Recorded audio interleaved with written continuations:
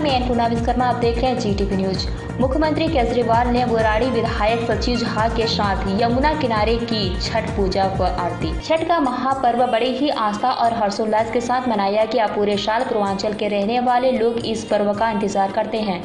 आस्था का महापर्व छठ महा- राजधानी दिल्ली में भी बड़े पैमाने पर मनाया गया है। बुराड़ी इलाके में भी यमुना किनारे छठ घाट बनाया गया, जिसमें दिल्ली सरकार की तरफ़ से तमाम सुविधाएँ दी गई। और आज इसी छठ घाट पर लोगों के बीच दिल्ली के मुख्यमंत्री अरविंद केजरीवाल पहुँचे, जहाँ उन्होंने लोगों को छठ की बधाई तो दी, साथ ही साथ अपने द्वारा कराए गए काम गिनाने में भी नहीं चुके कहा, पाँच साल पहले तिहत्तर छठ घाट थे, जिन पर सरकार इंतज़ाम करती थी, अब इनकी संख्या 1200 हो गई।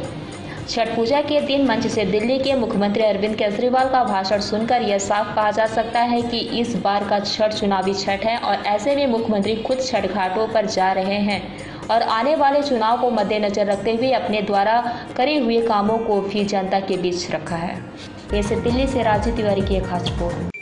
तो अपने पूर्वांचली भाइयों को दूर दूर जाना पड़ता था छठी का त्योहार मनाने के लिए।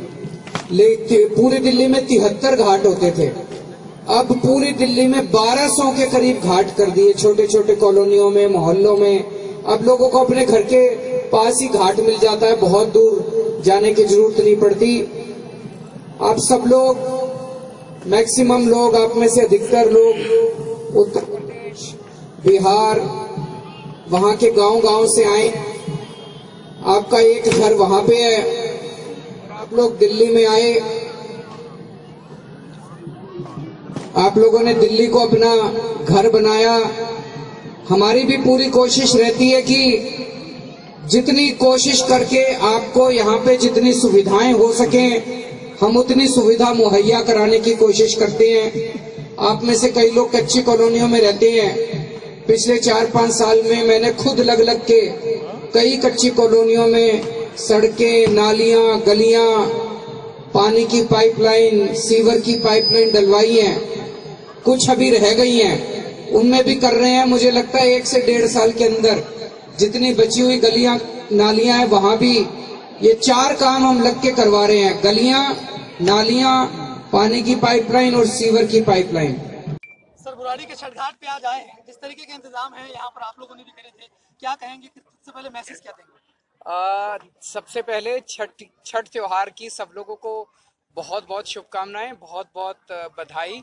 और पूरी दिल्ली के अंदर हम लोगों ने लोगों के लिए छठ त्योहार मनाने के लिए काफ़ी इंतज़ाम किए हैं। पाँच साल पहले पूरी दिल्ली में तिहत्तर घाटों के ऊपर छठ त्योहार मनाया जाता था। इसकी वजह से लोगों को काफ़ी तकलीफ़ होती थी दूर दूर जाना पड़ता था। अब पूरी दिल्ली में 1200 जगहों के ऊपर घाटों के ऊपर हम लोगों ने छठ त्यौहार मनाने का इंतज़ाम किया है सरकार की ओर से।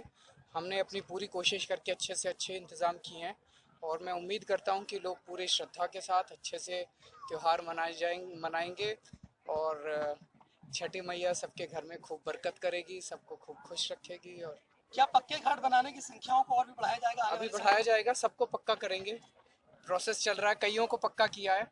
थोड़ा सा समय लगता है। सर एक सवाल इससे हट के तीस हजारी में जो आज वाक्य हुआ है उसको लेके क्या कहेंगे? जिस तरीके से वकीलों और दिल्ली पुलिस के बीच में झड़प हुई है। अभी मैं रिपोर्ट लेने की कोशिश कर रहा हूँ। पूरी मुझे स्थिति पता नहीं है लेकिन किसी भी तरह की हिंसा अच्छी नहीं है। किसी भी तरफ़ से अगर हिंसा हुई है तो वो अच्छी नहीं है। सर बुराड़ी के आज इस घाट पे खुद सीएम आए थे। उन्होंने यहाँ पूजा करी। किस तरीके का उत्साह लोगों में था खासतौर पर देखिए लोगों में बहुत उत्साह था कमेटी में बहुत उत्साह था बहुत बेसब्री से लोग इंतज़ार कर रहे थे और मैं धन्यवाद भी करता हूँ सीएम साहब का कि उन्होंने आज हमारे घाट पे आकर के बजरंगी घाट पर आकर के अपने छठी मैया को अर्घ दिया पूजा अर्चना की। उसके लिए मैं उनका ढेर सारा आभार भी व्यक्त करता हूँ। खासतौर पर अगर बुराड़ी की बात की जाए तो पूर्वांचल के लोग यहाँ बहुत बड़ी तादाद में रहते हैं। उन लोगों के लिए क्या घाट की संख्या और आगे बढ़ाने की उम्मीदें हैं? क्या कोशिशें रहेंगी? देखिए, लगातार हमारी कोशिश ये है कि लोगों को बहुत दूर ना जाना पड़े पूजा करने के लिए। अपने अगल बगल में अगर कहीं कोई जगह है, कहीं कोई झोड़ है, कहीं कोई पौंड है तो वहीं पे व्यवस्था की जाए। ये लगातार उत्तरोत्तर बढ़ती रहेगी। ये सफ़र बहत्तर से शुरू हुआ था। आज लगभग बारह सौ पहुँच गया। ये बढ़ता रहेगा।